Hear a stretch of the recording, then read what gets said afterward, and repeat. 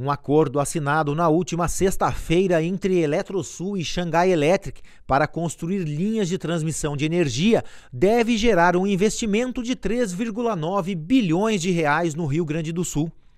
A iniciativa prevê a construção de quase 2 mil quilômetros de linha de transmissão e oito novas subestações, além da ampliação de 13 já existentes e da possibilidade da geração de 11 mil novos postos de trabalho no estado.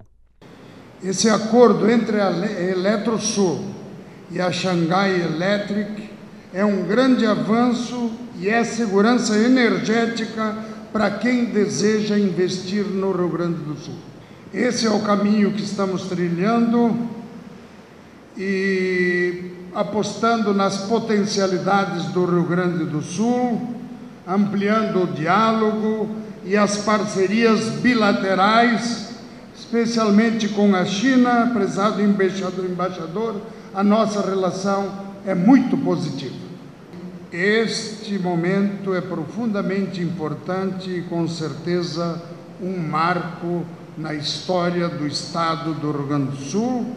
da modernização e um marco também da mobilização política e um marco na área de transmissão de energia, um marco daquilo que nós queremos de um novo Estado e do novo futuro que nós queremos estar construindo. Bom, primeiro que é um, é um fim de um capítulo, né, de uma longa novela que nós vínhamos acompanhando desde 2015 e vai representar para o Estado dois pontos dos mais importantes. Né? A atração desse investimento da ordem de 4 bilhões de reais no momento em que o Estado padece de atração de vultuosos investimentos, um dos maiores investimentos da história do Rio Grande do Sul, e também um, a questão de segurança energética que nós também precisamos e a, per, a, a permissibilidade de, de, participação dos parques eólicos e de outras uh, unidades geradoras de energia em leilões futuros com a possibilidade de escoamento dessa energia para o sistema interligado nacional.